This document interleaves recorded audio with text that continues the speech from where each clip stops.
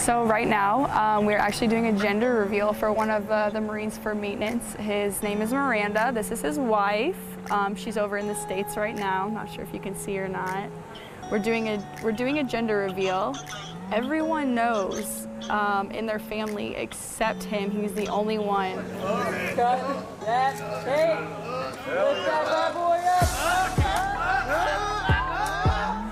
I just had my gender reveal. I just found out I'm having a baby girl and I'm super excited.